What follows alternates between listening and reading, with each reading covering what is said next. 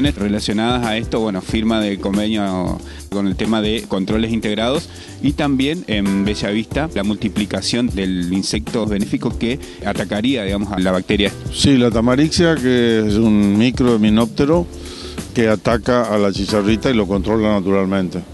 No es tan necesario en plantaciones, sí es fundamental para ser liberado en ciudades y en plantas de traspatio. Es decir, por ejemplo, nosotros tenemos localidades que tienen muchos sitios y no hay ninguna plantación, pero hay muchísimas plantas como por ejemplo Santa Ana, San Cosme, Ensenada Grande, etcétera, son zonas que tienen muchísimos citrus. Ahí, en esa zona nosotros tendríamos que estar liberando, tendríamos que estar liberando eh, esto que viene produciendo el INTA, que es un, un microminóptero controlador natural de la chicharrita. Lo más importante en, estas enfermedades son los transmisores. Y si bien nosotros en la provincia no hemos tenido mayores positivos, salvo unas pocas excepciones en Go, pero tenemos la chicharrita. La chicharrita está presente en la provincia, lo que pasa es que no están infestadas nuestras chicharritas, pero están presentes para determinada complementación de la lucha es lo que ha obtenido el INTA Bellavista a través de los técnicos del INTA Bellavista y ahora recibieron ya los aportes del Ministerio de Agroindustria de Nación ya para empezar la multiplicación masiva, un tema que ya lo están haciendo hace bastante tiempo, pero ya multiplicación masiva para poder hacer liberaciones también masivas. Pero insisto, no es tanto orientada a plantaciones, porque las plantaciones están sometidas a controles sanitarios, a programas de lucha, a programas sanitarios.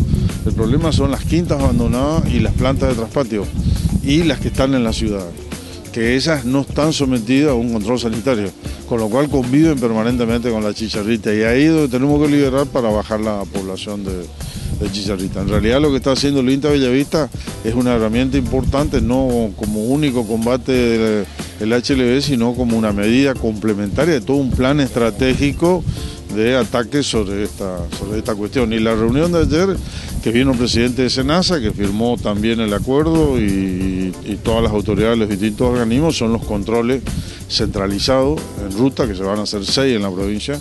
Para nosotros es fundamental el que controla en la 14, en la zona de Alvear y el de Villa Olivari, porque en misiones tenemos, entonces si entran eh, producción, por, sobre todo mandarina temprana, que hace muchas misiones, entra, entra citrus de misiones sin, eh, sin el drenching, o sea, sin el tratamiento y sin sacar la hoja, en la fruta no se, no se va a trasladar, este, no se va a trasladar el HLV en la fruta, pero sí en los pedúnculos y en las hojas y en las ramas de la, que pueden venir con la citrus. Entonces, tiene que salir de empacada tiene que salir empacada. Si sale, si pasa eh, luego el empaque de emisiones no hay mayor problema.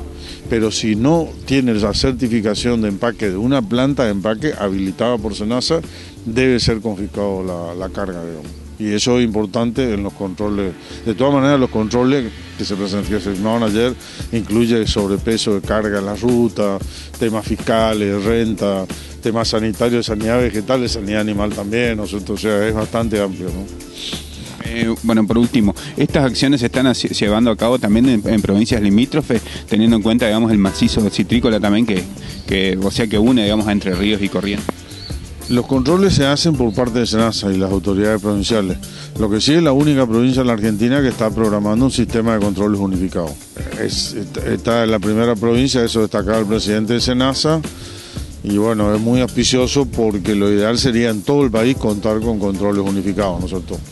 Pero fue una propuesta de la provincia. Además, la provincia se estaría haciendo cargo, se, tiene que hacer cargo según el convenio firmado, eh, de las erogaciones necesarias para la infraestructura. Esto requiere una infraestructura especial. Uno no puede estar parando camiones en la ruta. hoy una ruta 2, una ruta 14, no es, eh, para hacer los operativos hay que hacer instalaciones donde se desvía el tráfico hacia los lugares de controles, se hacen los controles y uno tiene que, hacer una, interdicción de alguna carga, no, no, está al costado de la ruta, sino que está, sale a un parque especial, tiene todo un manejo especial. Por ejemplo, implica eh, balcones sobre los cuales se, observa la mercadería arriba, se puede llevar a incorporar escaneo mañana, pero sobre todo balcones para hacer para hacer el muestreo este, requerido. Hay todas unas instalaciones y toda una tecnología especial como para poder efectuar adecuadamente estos controles.